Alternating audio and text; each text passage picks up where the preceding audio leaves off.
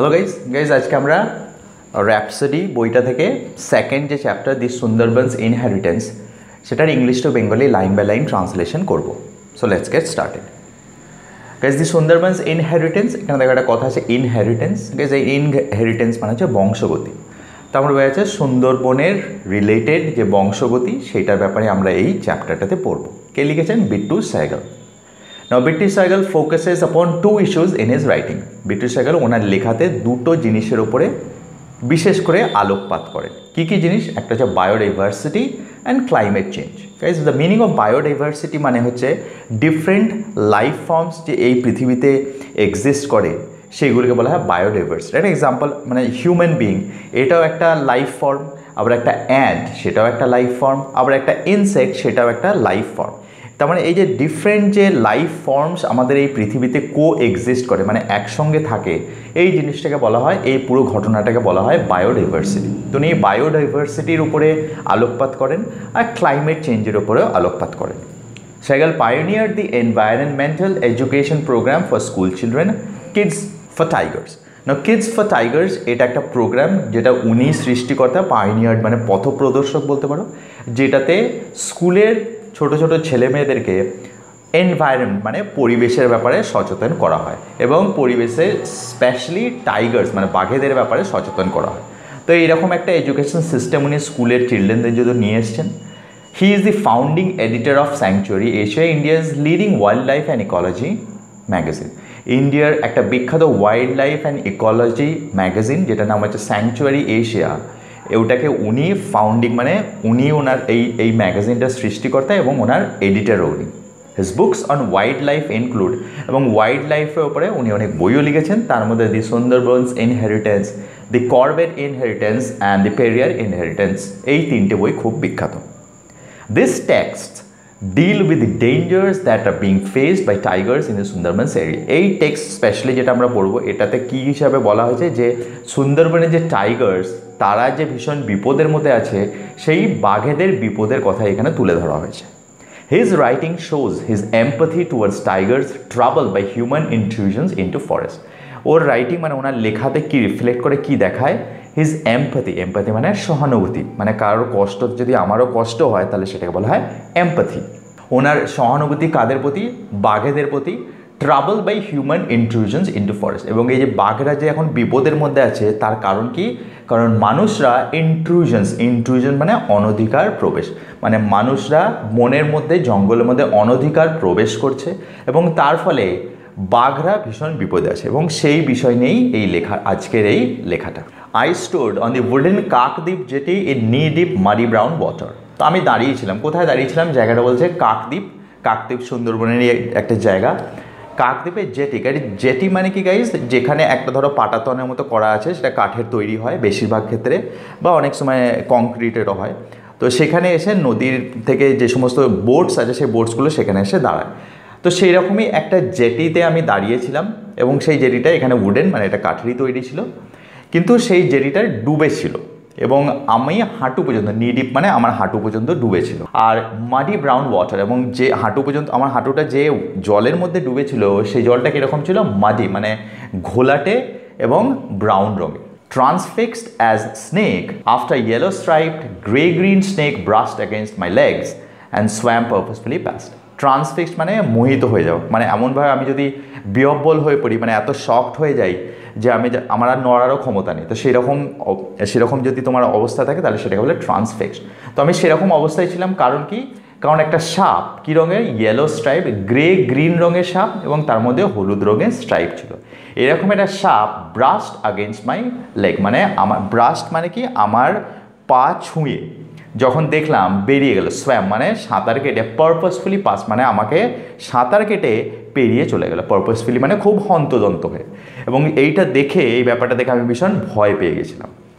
I thought then that they might have been chequered keelbacks তারপরে যখন সাপটাকে আমি দেখলাম, তখন আমি দেখে ভেবেছিলাম, হয়তো সেটা হচ্ছে চেকার্ড মানে ওই দোড়াকাটার দাগ আছে, এরকম একটা কিল ব্যাগ মানে ঢোড়া সাপ।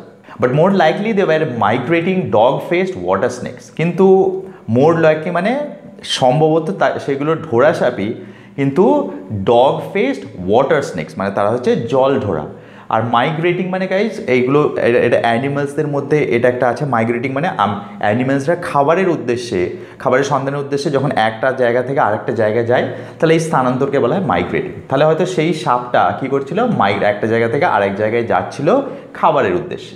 Or common smooth water snakes বা যে মানে ডগ ফেসড জল ঢোরা হতে পারে বা শুধু জল ঢোরা হতে পারে বা কমন স্মুথ ওয়াটার স্নেক বা এমনি সাধারণ যে জল ঢোরাগুলো হয় সেগুলো হতে পারে। I was in a wild land মানে আমি যেখানে দাঁড়িয়েছিলাম সেটা ছিল একটা খুব বন্য একটা জায়গা মানে সেখানে মানুষের যাতায়াত খুবই কম হয়। Wire the powerful Hooghly river এমটিজ into the বে অফ বেঙ্গল মানে আমি যে জায়গাটা দাঁড়িয়েছিলাম সেটা হচ্ছে বে অফ বেঙ্গল আর হুগলি রিভারের একটা সংযোগস্থল মানে হুগলি রিভারটা গিয়ে মিশছে বে অফ বেঙ্গলে আমি ঠিক সেরকম একটা জায়গায় দাঁড়িয়েছিলাম। And felt overwhelmed by the sheer vastness of all that lay before me এবং আমার সামনে ওভারওয়েলড মানে অভিভূত হয়ে যাওয়া। মানে আমার যদি চিন্তা করার ক্ষমতাটা হারিয়ে যায়, তো সেরকম একটা অবস্থাকে বলা হয়, মনের অবস্থাকে বলা ওভারওয়েলড সো আমি এটা অভিভূত হয়ে গেছিলাম মানে সম্মোহিত হয়ে পড়েছিলাম, কেন কি আমার সামনে শিয়ার ভাস্টনেস মানে যে একটা, যে বিস্তৃত একটা জায়গা আমার সামনে আমি দেখতে পাচ্ছিলাম যেখানে চারিদিকে জল আর জল, তো এরকম একটা জায়গা দেখে আমি কী হয়েছিলাম, আমি সম্মোহিত হয়ে পড়েছিলাম। My love affair with the Sundarbans had begun এবং ঠিক সেই রকম একটা প্রাকৃতিক সৌন্দর্য দেখেই আমার লাভ অ্যাফেয়ার মানে সুন্দরবনকে আমার ভালোবাসা। মানে সেটাই হচ্ছে আমার সুন্দরবনের প্রতি আমার ভালোবাসার সূত্রপাত। I grew up in Calcutta now Kolkata আমি বড় হয়েছি কল ক্যালকাটাতে যেটাকে এখন কলকাতা বলা হয়। And during those impressionable years এবং আমি যখন বড় হচ্ছিলাম যখন আমি খুব সংবেদনশীল ছিলাম মানে কোনো খুব ছোট ঘটনায় আমার মনে গভীর রেখাপাত করতো। মানে আমি যখন কৈশোরকাল থেকে যখন যৌবনে প্রবেশ করছিলাম, এরকম একটা সময়ে the Sundarbans was always a dark mysterious for forbidding place where tigers live মানে আমি যখন কৈশোর থেকে যৌবনে পা দিচ্ছিলাম, তখন সুন্দরবন কীরকম ছিল? সুন্দরবন ছিল একটা ডার্ক মানে অন্ধকার, রহস্যময় আর ফরবিডিং মানে এমন একটা জায়গায় যেখানে যাওয়া মানা। কারণ কি? সেখানে বাঘ থাকে। তো সেই রকমই একটা চিত্র ছিল আমার মনে সুন্দরবনের জন্য। As a child the only tigers I had ever seen were the sorry specimens house in the Zoo. যখন আমি ছোটো ছিলাম, তখন টাইগার্স আমি শুধুমাত্র দেখেছিলাম কোথায়? আলিপুর জুতে। এবং সরি স্পেসিমেন্স মানে স্পেসিমেন্স মানে নমুনা, আর সরি মানে খুবই দুঃখিত। মানে দেখে বোঝা ছিল যে তারা খুব একটা ভালো অবস্থার মধ্যে নেই। তো সেই রকম জু মানে সেখানে মানে আলিপুর জুতে সেরকম বাঘ দেখাই ছিল আমার প্রথম বাঘ দেখা। Not surprisingly fear and curiosity tinged with unadulterated or etched wild images of the Sundarbans in my mind. Not surprisingly মানে এটা খুব একটা বিস্ময়ের ব্যাপার ছিল না যে ফিয়ার অ্যান্ড কিউরিয়াসিটি ভয় তো ছিলই মানে বাঘ নামটা শুনলে একটা ভয়ের উদ্রেক হয়।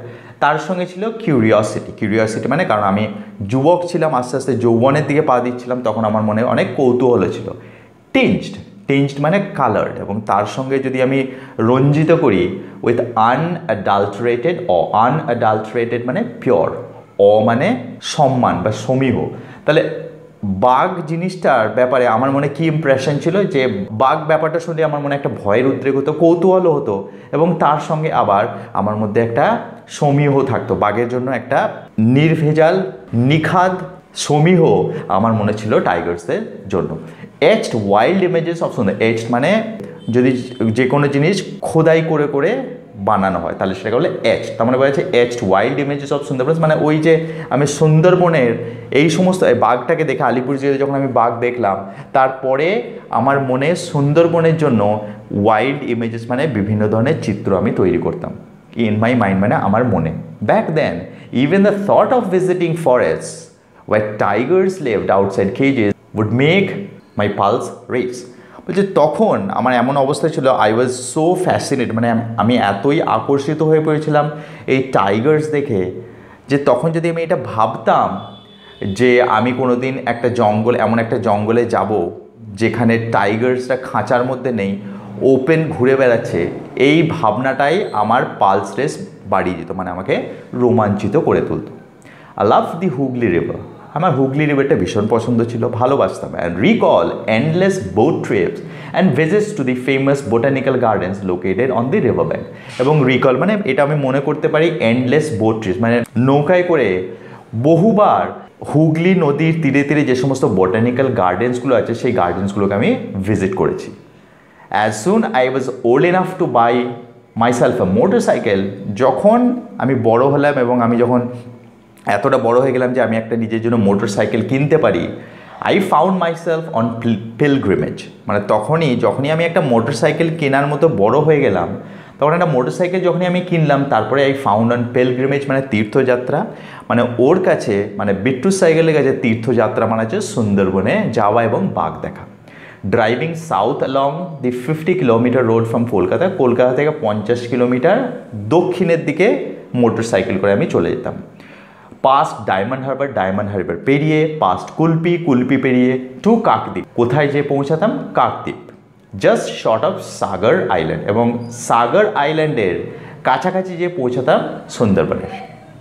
Though Kakdwip fisherman informed me that crocodiles and sharks are common fisherman মানে জেলেরা। তো কাকদ্বীপে গেলে ওখানে যারা জেলে ছিল, যারা মাছ ধরতো, তারা আমাকে এটা জানিয়েছিল যে এই সমস্ত জায়গায় ক্রকোডাইলস আর শার্কসটা খুব কমন তাদেরকে হামেশাই দেখতে পাওয়া যায়।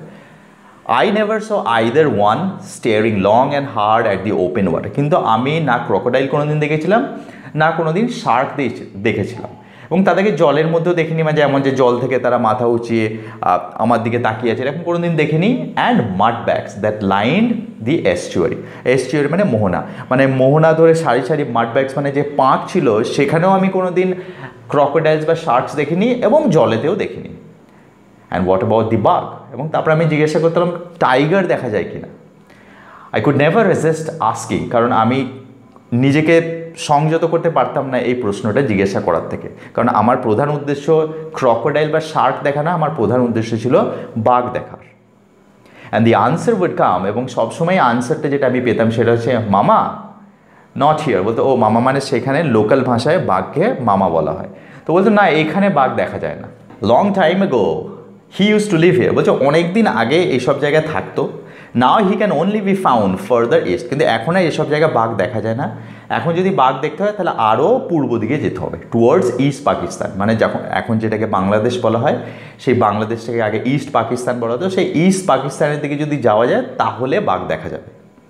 But I was close enough to dream কিন্তু আমি এতটা কাছাকাছি ছিলাম যে আমি স্বপ্ন দেখতে পারি আমি এটা আশা করতে পারি যে আমি আরেকটু গেলে হয়তো বাঘের দেখা পেলেও পেতে পারি। After several trips and the passage of many years তারপরে আমি অনেকবার ওই সুন্দরবনে বা কাকদ্বীপে যাত্রা করেছি এবং তার সঙ্গে সঙ্গে অনেক বছরও কেটে গেছে। My fascination for Sundarbans had grown even stronger কিন্তু এতবার আমি সুন্দরবনে গেছি বা এত বছর কেটে গেছে, তারপরেও কিন্তু আমার যে সুন্দরবনের প্রতি একটা আকর্ষণ, সেটা কমেনি। তার পরিবর্তে আরও বেশি হয়েছে। There is something in explicably awe inspiring মানে বিট্টু সাইকেল বলছেন ইনএক্সপ্লিকেবলি মানে অবর্ণনীয়। এমন একটা অবর্ণনীয় একটা বিষয় আছে এই সুন্দরবনে, যেটা আমাকে টানে। About the deep swamp swamps মানে জলাভূমি মানে এই সুন্দরবনকে বলা যায়। বলছে এই সুন্দরবনের জলাভূমি, এর মধ্যে একটা অবর্ণনীয় একটা টান, একটা আকর্ষণ বা একটা বিস্ময় আছে, যেটা আমাকে বারবার টেনে নিয়ে যায় সুন্দরবনের প্রতি। Like they exist in a time before the advent of man এবং উনি বলছেন যে এবং এটাও একটা বিষয়ের ব্যাপার যে, এই সমস্ত এই যে সুন্দরবনে এই জলাভূমিগুলো এই জলাভূমিগুলো কত পুরানো? মানে মানুষ আসার আগে থেকেই জলাভূমিগুলো আছে। And I like a moth to a flame have constantly return এবং যেমন একটা মথ একটা শিখার দিকে, শিখার আকর্ষণে বারবার শিখার দিকে যায়। ঠিক সেইভাবেই আমি এই সুন্দরবনের আকর্ষণে বারবার সুন্দরবনে ফিরে গেছি। The moment you enter the tidal world three colours dominate মানে যখনই তুমি টাইডাল ওয়ার্ল্ড মানে সুন্দরবন এলাকায় প্রবেশ করবে, তখনই তিনটে কালারকে বিশেষভাবে দেখা যায়। তিনটে রং কী কী? ব্লু স্কাইজ নীল রঙের আকাশ গ্রিন সবুজ রঙের ম্যানগ্রোভস অ্যান্ড ব্রাউন মাড এবং পাঁক। পাঁকটা কী রঙের হয়? ব্রাউন রঙের। এই তিনটে কালারকেই চারিদিকে দেখা যায়। The sameness of the mangrove light mud banks mud banks মানে ওই পাঁক, পাঁকের মধ্যে কী দেখা যায়? ম্যানগ্রোভের সারি সারি গাছ দেখা যায়। And the comforting throb of boat engines এবং যে বোটে করে তুমি ট্রাভেল করছ, সেই বোটের মধ্যে একটা ইঞ্জিন লাগানো থাকে এবং সেটার একটা ধকধক ধকধক আওয়াজ সমানে হয়ে যেতে থাকে এবং সেটা কানে লাগে না, সেটা কমফোর্টিং মানে সেটা বেশ শুনতে ভালোই লাগে। হ্যাভ এ লালিং ইফেক্ট এবং এই দুটো জিনিস মানে ওই ম্যানগ্রোভের সারি সারি ম্যানগ্রোভের দৃশ্য এবং ওই ইঞ্জিনের একটা ধকধক আওয়াজ, এই দুটো মিলে একটা কি? লালিং ইফেক্ট মানে একটা তন্দ্রার সৃষ্টি করে। এবং এই রকম তন্দ্রাচ্ছন্ন অবস্থায় মিনিটস টার্ন টু আওয়ার্স মানে মিনিট দিয়ে ঘন্টায় পরিণত হয়। এবং দেন ডেজ এবং তারপরে মানে মিনিট থেকে ঘণ্টা কেটে যায়, ঘণ্টার পর ঘণ্টা থেকে দিন কেটে যায়। In the water world of the Sundarbans কোথায়? এই সুন্দরবনের জলের একটা পৃথিবীতে। Yet surprises keep jumping out at you from muddy shores that literally crawl with life muddy shores মানে একটা প্রণালী বা খাল দিয়ে যখন ওই বোটটা যায়, তার দুপাশে যে তীর, সেগুলো পাঁকে ভর্তি। বলছে সেই পাঁকে ভর্তি তীরে কিন্তু বিভিন্ন ধরনের জীবজন্তুকে হামেশাই দেখা যায় এবং তারা এমন হঠাৎ হঠাৎ করে দেখা দেবে যে তুমি সেটাতে অবাক হয়ে যাবে। তার মানে উনি বলতে চাইছেন যে এরকম নয় যে তোমার শুধু তন্দ্রা আসবে এবং মাইলের পর মাইল তুমি একই দৃশ্য দেখবে। এই দৃশ্যের মাঝখানে হঠাৎ হঠাৎ করে বিভিন্ন ধরনের জীব ক্রল উইথ লাইফ মানে বিভিন্ন ধরনের জীবজন্তুর মানে আমরা আগে বলেছিলাম বিভিন্ন ধরনের লাইফ ফর্মকে বায়োডাইভার্সিটি বলা হয়। তো এখানে বিভিন্ন ধরনের জীবজন্তুকে তুমি ওই পাঁকের যে তীর সেখানে দেখতে পাবে। Those who have not experienced a mangrove swamp of this dimension বলছে যে মানে এরকম বিশাল আকারে ডিমেনশন মানে মাত্রা মানে এরকম বিশাল মাত্রার ম্যানগ্রোভের জলাভূমি দেখেনি বা এক্সপিরিয়েন্স করেনি বা এক্সপিরিয়েন্স করেনি মানে যাদের দেখার অভিজ্ঞতা নেই will find it difficult to comprehend what this Sundarbans has in store for them মানে যারা কোনোদিন এই সুন্দরবনে আসেনি, তাদের জন্য কম্প্রিহেন্ড মানে আন্ডারস্ট্যান্ড তাদের তাদের জন্য এটা বোঝা খুবই শক্ত হয়ে যাবে যে সুন্দরবনে গেলে তারা কি কি জিনিস দেখতে পাবে। মানে উনি বলতে বিট্টু সাইকেল বলতে চাইছেন যে Sundarban is full of life full of surprises তবে যে সুন্দরবনে আসেনি সেই জীবনে তাকে যদি আমি বলি এই কথাগুলো, তাহলে সেই জীবনে সেই কথাগুলো বুঝতে পারবে না বা he will not be able to realise এটা উপলব্ধি করতে পারবে না যে সুন্দরবনে গেলে সে কত কিছু জিনিস নতুন দেখতে পাবে। It is a halfway world between land and sea এটা একটা এমন একটা জগৎ যেটা হচ্ছে স্থল এবং সি সমুদ্র। স্থল এবং সমুদ্রের মাঝামাঝি একটা পৃথিবী হচ্ছে Sundarban. Which often offers refuge to both terrestrial and marine species এবং এই এমন একটা জায়গা, সুন্দরবন, এখানে রেফিউজ মানে আশ্রয়স্থল। কাদের আশ্রয়স্থল? মানে যারা টেরেস্ট্রিয়াল মানে যারা স্থলে থাকে, তাদেরও আশ্রয়স্থল হচ্ছে এই সুন্দরবনটা। আবার যারা জলে থাকে মানে মারিন স্পিসিস জলে থাকা যে সমস্ত জীবজন্তু বা প্রজাতি, তাদেরও একটা আশ্রয়স্থল হচ্ছে এই সুন্দরবনটা। With the former largely occupying the upper canopy of shrubs and trees former মানে যারা স্থলে থাকে, তারা কোন জায়গাটা নিয়ে যায়? এই যে উপরে, এই যে সুন্দরবনের শুধুমাত্র ম্যানগ্রোভ ট্রি তো নেই, তার সঙ্গে সঙ্গে অনেক বড় বড় গাছ এবং গুল্ম জাতীয় গাছ আছে। এবং তারা যে একটা ক্যানোপি মানে একটা আচ্ছাদনের সৃষ্টি করে এই জলের উপরে, সেই আচ্ছাদনের মধ্যে কারা থাকে? যারা স্থলে বসবাস করে, সেই সমস্ত প্রজাতির জীবজন্তুরা তারা সেখানে আশ্রয় নেয়। While the latter live underneath এবং যারা জলে বসবাস করে, তারা কি করে? ওই যে আচ্ছাদন, তার নিচে যে পাঁক এবং জলের একটা পৃথিবী, সেইখানে তারা আশ্রয় গ্রহণ করে। কারা? যারা জলে বসবাস করে, সেই ধরনের প্রজাতির জীবজন্তুরা। Amidst the roots and mud এবং তারা কোথায় থাকে? ওই জলের মধ্যে থাকে, পাঁকের মধ্যে থাকে। রুটস মানে শিকড়ের অলিতে গলিতে থাকে এবং কাদার মধ্যে থাকে। Mangrove plants themselves are ultra adapted এবং ম্যানগ্রোভ গাছগুলো তারা নিজেরাও আলট্রা অ্যাডাপ্টেড মানে মানিয়ে, তারাও ভীষণভাবে যে কোনো পরিবেশের সঙ্গে মানিয়ে নিতে পারে। To cope with salinity salinity মানে এই যে একটা নোনতা। মানে ওখানে যে জলটা, সেটা নোনতা জল এবং নোনতা জলে কোনো গাছে বেঁচে থাকতে পারে না। কিন্তু ম্যানগ্রোভ ট্রি তারা নিজেদেরকে এই রকম একটা নোনতা পরিবেশের মধ্যেই মানিয়ে নিয়েছে অ্যান্ড দে সার্ভাইভ এবং তারা সার্ভাইভ করেছে, তারা বেঁচে থাকতে সক্ষম হয়েছে। To extract pure water from brine brine মানে লোনা জল। মানে এই লোনা জল থেকে পিওর আর বিশুদ্ধ জলটাকে টেনে নেওয়ার জন্য তারা একটা বিশেষ পদ্ধতি অবলম্বন করে। সেটাকে কি বলা হয়? সেটাকে বলা হয় osmosis cells exert higher osmotic pressure than sea water guys osmotic pressure মানে বলতে পারে এটা একটা প্রসেস এটা একটা ছাঁকনির একটা প্রসেস মানে এই যে ম্যানগ্রোভ ট্রি এই ম্যানগ্রোভ ট্রিতে যে কোষগুলো আছে, সেই কোষগুলো কি করে? তারা বেশি প্রেশার প্রয়োগ করে। মানে বেশি প্রেশার প্রয়োগ করে সি ওয়াটার থেকে বেশি প্রেশার মানে বেশি চাপ প্রয়োগ করে এবং এই পদ্ধতির মাধ্যমেই তারা কি করে? তারা ওই পিওর ওয়াটারটাকে সমুদ্রের লবণাক্ত জল থেকে পিওর ওয়াটারটাকে তারা ছেঁকে নেয় এবং সেই জলটাকে তারা ব্যবহার করতে পারে। তার মানে বোঝা যাচ্ছে তারা নিজেদেরকে মানিয়ে নিয়েছে এই পরিবেশে। সাম স্পিসিস হ্যাভ লার্ন দেখো এখন লার্নটাকে কমার মধ্যে দিয়েছে মানে বোঝা যাচ্ছে উনি বলতে চাইছেন যে ম্যানগ্রোভ ট্রিরা এমনভাবে অ্যাক্ট করে কি as if they are just like living beings মানে তারা এমনভাবে অ্যাক্ট করে যে তাদের হয়তো নিজেদের বুদ্ধি আছে এবং সেই বুদ্ধি খরচা করেই নাকি তারা এখানে বেঁচে থাকতে সক্ষম হয়েছে। সেই জন্য বলছে শিখে নিয়েছে। কারণ গাছ তো কোনো কিছু শিখতে পারে না। মানুষ কোনো কিছু শিখতে পারে। তার মানে বোঝা যাচ্ছে এখানে হিউম্যানের মতো কোয়ালিটি বা একটা অ্যানিম্যালের মতো কোয়ালিটি গাছটাকে দেওয়া হয়েছে। সেটা হচ্ছে সাম স্পিচ কিছু কিছু ম্যানগ্রোভের প্রজাতি আছে যারা শিখে নিয়েছে to shed leaves loaded with salt তো তারা কি বলছে? তারা পাতা যখন ঝরে, সেই পাতাগুলো কিসের থাকে? একদম নুনে ভর্তি থাকে। তার মানে কিছু কিছু ম্যানগ্রোভ ট্রি তারা কি করেছে? শিখে নিয়েছে যে কীভাবে জলটাকে বের করে নিয়ে আর বাকি যে লবণ আছে সেই জলের মধ্যে লবণটাকে পাতায় সঞ্চয় করতে। এবং তারা সেই পাতায় লবণটাকে সঞ্চয় করে তারপর সেই পাতাটা ঝরে যায়। Other mangrove species actually possess salt glands আবার কিছু কিছু ম্যানগ্রোভের প্রজাতি আছে যাদের লবণের গ্রন্থি আছে। অ্যান্ড হেয়ার্স এবং চুলও আছে দ্যাট হেল্প এক্সক্রিট সল্ট এবং এই গ্রন্থিগুলো এবং এই চুল কি করে? তাদেরকে এই নুনটাকে তাদের শরীর থেকে বের করে দিতে সাহায্য করে। It is possible to understand the varying levels of salt concentration মানে সুন্দরবন একটা অনেক বড় এলাকা এবং বিভিন্ন জায়গায় মানে বিভিন্ন জায়গায় জলে লবণের মাত্রাটা বিভিন্ন। তো কোন জায়গার জলে লবণের মাত্রাটা কত? সেটা বোঝা যায় এই ম্যানগ্রোভ ট্রি দেখে। কীভাবে? By mapping the distribution of the various mangrove species কীভাবে বোঝা যাবে? বিভিন্ন ধরনের ম্যানগ্রোভের প্রজাতি আছে। তাহলে যে জায়গায় যে প্রজাতির ম্যানগ্রোভটা বেশি, সেইটা দেখে একটা আন্দাজ করা যেতে পারে যে সেখানের জলের লবণের মাত্রাটা কত। In addition all mangrove fruit and shoots float to facilitate seed dispersal এবং এর সঙ্গে আরেকটা জিনিস যোগ হয়েছে যে এই ম্যানগ্রোভ তাহলে একটা জায়গা থেকে আর একটা জায়গায় কীভাবে ছড়িয়ে যায়? কারণ ওই পুরো সুন্দরবন এলাকায় ম্যানগ্রোভ ছড়িয়ে ম্যানগ্রোভের গাছ কীভাবে করে তারা?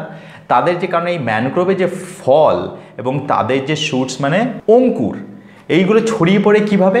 কারণ তারা কি করে? তারা ফেসিলিটেট মানে গাছ সহজতর করে। এবং যেহেতু এই অঙ্কুর এবং তাদের ফল, সেগুলো যেহেতু ভেসে থাকে জলের মধ্যে। তার ফলে এই যে ম্যানগ্রোভের বীজ, এই বীজগুলো ডিসপার্সাল মানে ছড়িয়ে দেওয়া। এই ম্যানগ্রোভের বীজগুলোকে ছড়িয়ে দেওয়াটা অনেক সহজ হয়ে যায়। তার মানে বোঝা যাচ্ছে কত ভালোভাবে ম্যানগ্রোভ ট্রি নিজে থেকে অ্যাডাপ্ট করে নিয়েছে। অ্যাক্রস দি ওশিয়ান্স অ্যাক্রস দি ওশিয়ান্স মানে এই সুন্দরবনে পুরো এলাকাটাতে এই ম্যানগ্রোভ ট্রিটা ছড়িয়ে পড়ে। সেটার প্রধান কারণ হচ্ছে কারণ এর ফলগুলো এবং এর অঙ্কুরগুলো জলের উপরে ভেসে থাকতে পারে। It is all quite magnificent মানে যে পুরো ব্যাপারটা দেখা যায়, বিট্টু সাইগাল বলছে যে এটা সত্যিই একটা চমকপ্রদ ব্যাপার। Living in an age when technology puts hard information at our fingertip with frightening ease মানে আমরা এমন একটা যুগে বসবাস করি যেখানে টেকনোলজি ইনফরমেশন আমাদের আঙুলের ডগায় পৌঁছে দিয়েছে। এবং উইথ ফ্রাইটনিং ইজ মানে এবং ইনফরমেশনটা পাওয়াটা এতটাই সোজা যে এটা অনেক সময় ভয়ের উদ্রেক করে। Are acutely aware that some of the wonderful myths and legends that are bound about the Sundarbans are often just that we are acutely মানে খুব ভালোভাবে, আমরা খুব ভালোভাবেই আবার মানে সচেতন, এটা খুব ভালোভাবে আমরা এটার ব্যাপারে সচেতন যে সাম অফ দি ওয়ান্ডারফুল কিছু যে চমকপ্রদ মিথস মিথস মানে শ্রুতি মানে যেগুলো লোকের মুখে মুখে শোনা অ্যান্ড লেজেন্ডস মানে কিংবদন্তি, যেগুলো হচ্ছে যে যে ঘটনাগুলোর কোনো আদতে প্রমাণ নেই যে সেগুলো হয়েছিল যাই হোক, তো আমরা অনেক মিথস আর লেজেন্ডস শুনি এই সুন্দরবনের ব্যাপারে এবং যেগুলো শুনতে খুবই ভালো লাগে কিন্তু আমরা খুব ভালোভাবেই জানি যে ওইগুলো শুধু শ্রুতি এবং কিংবদন্তি মানে তার সঙ্গে বাস্তবতার কোনো সম্পর্ক নেই and not always founded on reality তার মানে এবং এই যে মিথসগুলো এবং লেজেন্ডসগুলো আমরা শুনে থাকি, যেটা অ্যাবাউন্ড মানে প্রচুর পরিমাণে আছে। সুন্দরবনের সম্বন্ধে প্রচুর মিথস আর লেজেন্ড প্রচলিত আছে। কিন্তু যেহেতু আমরা একটা ইনফরমেশান এজে বসবাস করি। আমরা খুব ভালোভাবেই জানি যে সেই সমস্ত মিথস অ্যান্ড লেজেন্ডসগুলো বাস্তবতার উপর ভিত্তি করে কিন্তু বলা হয়নি। We are also keenly aware that the invincible Sundarbans এবং আমরা এটা খুব ভালোভাবেই জানি বা সচেতন যে ইনভিনসিবল মানে অপরাজয়। এই সমস্ত মিথস আর লেজেন্সি জনপ্রিয় ছিল যে সুন্দরবন হচ্ছে এমন একটা জায়গা, খুব গভীর জঙ্গল এবং এটা অপরাজয় এবং এটা কোনোদিন শেষ হবে না বা এটা কোনোদিন নষ্ট হবে না। এই সমস্তগুলো, এগুলো কিন্তু আসলে বাস্তবতার কোনো সম্পর্ক নেই। আসলে জিনিসটা কী হচ্ছে সেটাই বিট্টু সাইকেল জানাতে চাইছেন যে, এক সময় যেটাকে ইনভিনসিবল মানে অপরাজেয় বলা হতো সেটা কিন্তু had almost reach the tipping point সেই সুন্দরবন কিন্তু তার টিপিং পয়েন্টে প্রায় পৌঁছে গেছে। গাইজ টিপিং পয়েন্ট মানে কি?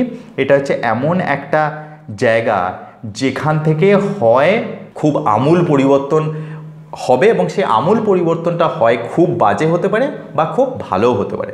তো যে জায়গা থেকে এই আমূল পরিবর্তনটা হবে সেই জায়গাটা বলে টিপিং পয়েন্ট তো এখানে অবভিয়াসলি সুন্দরবনের জন্য বিট্টু সাইকেল বলছেন যে, এমন একটা জায়গায় সুন্দরবন পৌঁছে গেছে টিপিং পয়েন্ট যে এখান থেকে এটা কিন্তু আরও খারাপের দিকে চলে যেতে পারে।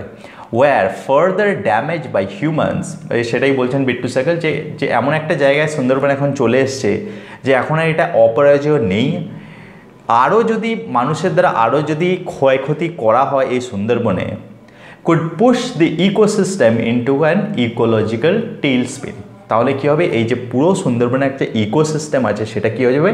Ecological tail spin tail spin মানে কি গাইজ যে একদম হয় না যে মানে একটা ঘুড়ি ধরো। একটা ঘুড়িতে তো ধরো যদি একটা দিক ছিঁড়ে যায়, তাহলে সেটা ওই একদম ঘুরতে ঘুরতে ঘুরতে ঘুরতে একদম মাটিতে এসে গোত্তা খেয়ে পড়ে।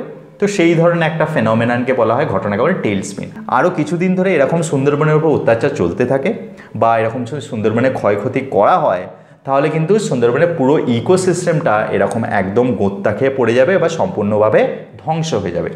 From which the tiger and its co inhabitants may never recover এবং এই যে একটা প্রচণ্ড পরিমাণে একটা ক্ষয়ক্ষতি হবে যে পুরো পুরো ইকোসিস্টেমটা ভেঙে পড়বে, সেখান থেকে কিন্তু এখানকার বসবাসকারী যে টাইগার আছে এবং টাইগারের সঙ্গে আরও যে সমস্ত জীব, জন্তু বা অনেক ধরনের পাখি বা অনেক ধরনের ইনসেক্টসরা বসবাস করে এই সুন্দরবনে, তারা কিন্তু কোনোদিনই আর ফিরে আসতে পারবে না। দ্যাট মিনস বিট্টু সাইকেল একটা ওয়ার্নিং দিচ্ছেন যে সুন্দরবনের আমরা যদি if you don't take care of Sundarban আমরা যদি সুন্দরবনের যত্ন না নিই, তাহলে কিন্তু খুব তাড়াতাড়ি এই সুন্দরবনের পুরো ইকোসিস্টেম ভেঙে ভেঙে পড়বে এবং ইকোসিস্টেমটার সঙ্গে সঙ্গে এখানে বসবাসকারী যত লাইফ ফর্ম আছে, সবই কিন্তু চিরতরে নষ্ট হয়ে যাবে, সেগুলো আর ফিরে পাওয়া যাবে না Roughly 1 million hectares of the world's present 15 million hectares of mangroves exist as the Sundarbans.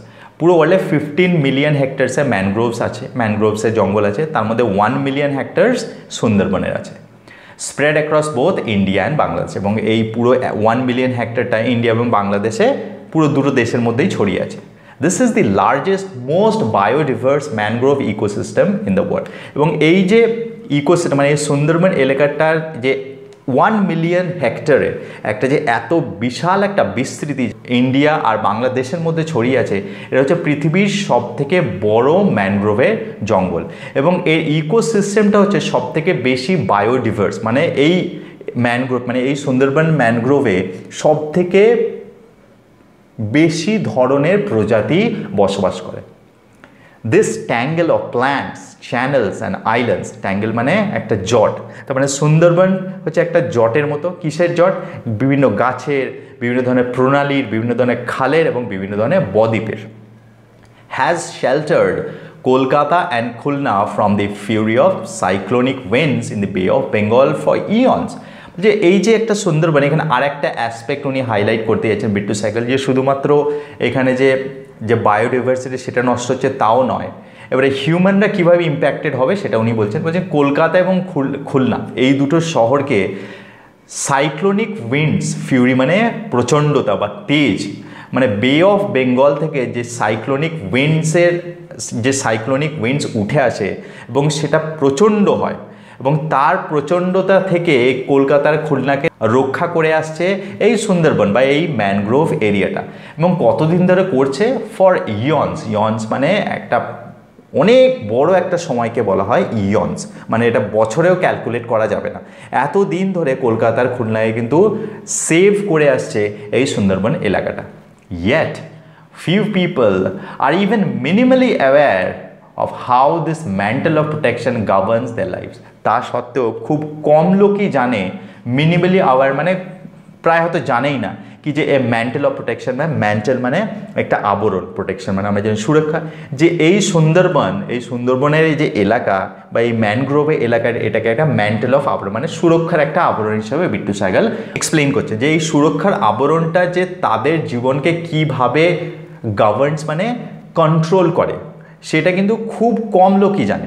B2 cycle এটা বলতে চাইছেন, যদি এই সুন্দরবন এলাকাটা না থাকতো, তাহলে এই যে লোকগুলো যারা এখানে খুলনাতে বা কলকাতাতে বসবাস করে, তাদের কি হতো এবং তাদের জীবনটা যে সম্পূর্ণ আলাদা হতো, সেটাই বিটু সাইকেল জানাতে চাইছেন। কিন্তু বলছেন, যারা খুলনাতে বা কলকাতায় থাকে, তারা কিন্তু এই ব্যাপারটা বিষয়ে সচেতন নয় যে how important Sundarban is for their own lives millions who live in the protective shadow of the Sundarbans. বলছে মিলিয়ন্স মানে লক্ষ লক্ষ মিলি ওয়ান মিলিয়ন মানে এক লক্ষ দশ লক্ষ।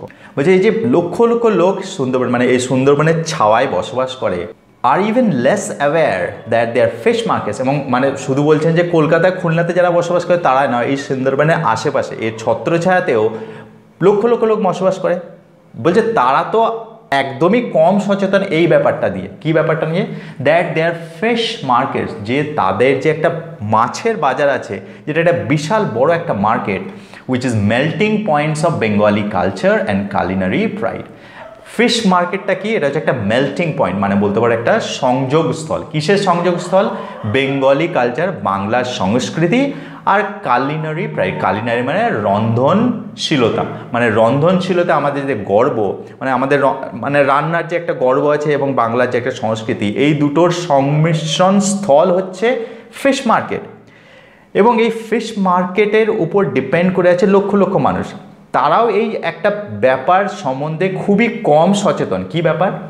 আর direct beneficiaries of Sundarbans inheritance তারা এটা ব্যাপারে সচেতনই নয় যে এই যে তারা ফিশ মার্কেটে এত বড় একটা ফিশ মার্কেটে তারা সার্ভাইভ করছে এবং তারা ব্যবসা করছে, তারা এই ফিশ মার্কেটটা হচ্ছে বেনিফিশিয়ারি মানে লাভবান of the Sundarbans inherit inheritance মানে বংশগত। মানে এই সুন্দরবনে যে একটা ইকোসিস্টেম আছে সুন্দরবনে ইকোসিস্টেমের থেকেই তারা লাভবান হয়ে ফিশ মার্কেটটাই কন্টিনিউ করতে পারছে।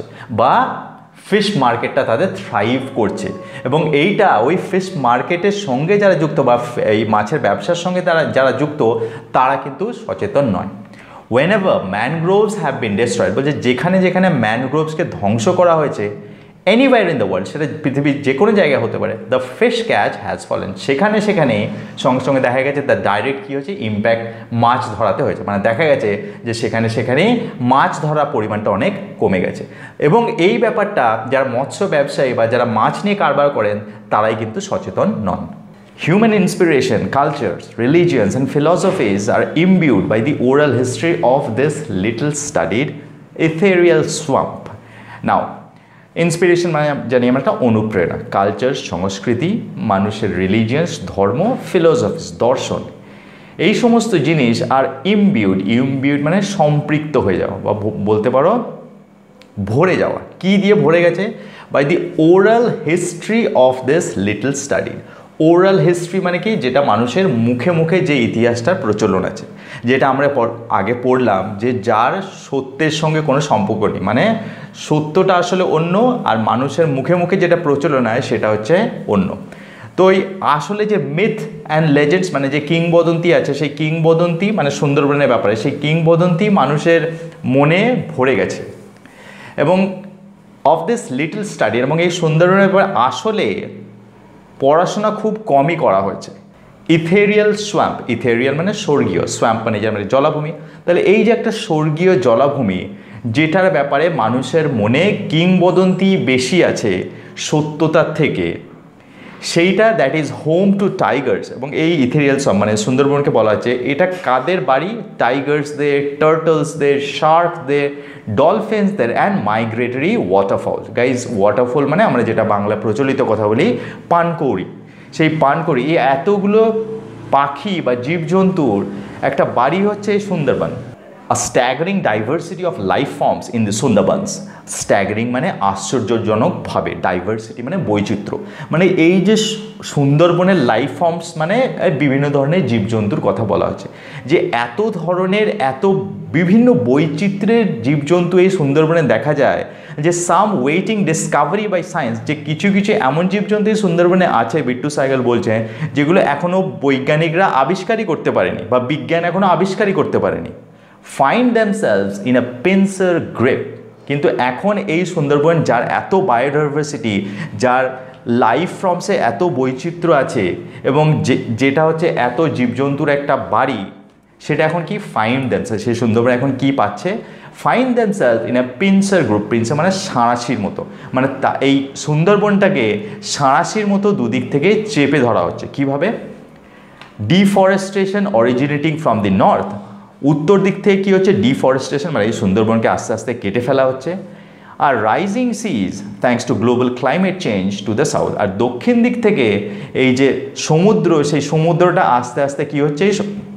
রাইজিং মানে যেহেতু বরফ গলে যাচ্ছে ক্লাইমেট চেঞ্জের ফলে, বরফ গলে যাওয়ার ফলে সমুদ্রের যে স্তর, সেই সমুদ্রের স্তরটা বেড়ে যাচ্ছে এবং তার ফলে সমুদ্রের জল আরও সুন্দরবনের ভিতরে বেশি করে ঢুকে পড়ছে। তারা দেখো, সাঁড়াশির মতো দুদিক থেকে এই সুন্দরবন জলাভূমিটাকে আক্রমণ করা হচ্ছে। উত্তর দিক থেকে জঙ্গল কেটে ফেলা হচ্ছে আর দক্ষিণ দিক থেকে সমুদ্রে জল ঢুকে পড়ছে। This veritable poetry of evolution Bittu Sahgal বলছেন ভ্যারিটেবল ভ্যারিটেবল মানে যথার্থ রূপে। পোয়েট্রি অফ এভলিউশন মানে বিবর্তনের একটা কবিতা বলা যায়। মানে এই যে, এই জলাভূমিটা এবং এই জলাভূমিতে যে লাইফ ফর্মস আছে সেটাকে বিট্টু সাইকেল বলছেন, এটাকে বলা যায় বিবর্তনের একটা কবিতা। মানে বিবর্তনকে স্টাডি করতে হলে সুন্দরবনকে স্টাডি করতে হবে। এরকম একটা সুন্দর জায়গা ইজ আন্ডার সিরিয়াস থ্রেট এরকম একটা সুন্দর জায়গা মানে সুন্দরবন জায়গাটা এখন খুব মহা বিপদের মধ্যে আছে। But nature has the power to repair কিন্তু ভালো জিনিস হচ্ছে যে নেচার মানে প্রকৃতির ক্ষমতা আছে নিজেকে মেরামত করার। রিনিউ অল এবং নূতনভাবে আবার শুরু করার। কিন্তু একটাই শর্ত ইফ উই অ্যালাউ ইট যদি আমরা একে করতে দিই সেই জিনিসটা। তার মানে বিট্টু সাইকেল বলছেন এখনও দেরি হয়ে যায়নি। আমরা হিউম্যান আমরা যেভাবে এই সুন্দরবনকে নষ্ট করে ফেলছি, সেটা যদি এখনই স্টপ করে দিই, তাহলে প্রকৃতির নিজের ক্ষমতা আছে, যা ক্ষতি হয়েছিল সেই ক্ষতিকে আবার পূরণ করে সে নতুনভাবে শুরু করতে পারে। তো তাহলে তার জন্য কী করতে হবে? We have to stop ourselves from destroying Sundarban. আমাদেরকে এই সুন্দরবন ধ্বংস করাটা থামাতে হবে। তাহলেই কিন্তু সুন্দরবন আবার তার পূর্বের রূপে ফিরে যাবে। Okay guys guys this is the end of the translation I hope তোমাদের পছন্দ হয়েছে ট্রান্সলেশনটা যদি পছন্দ হয়ে থাকে প্লিজ একটা লাইক দিও। Thank you for watching thank you for listening have a wonderful day tata.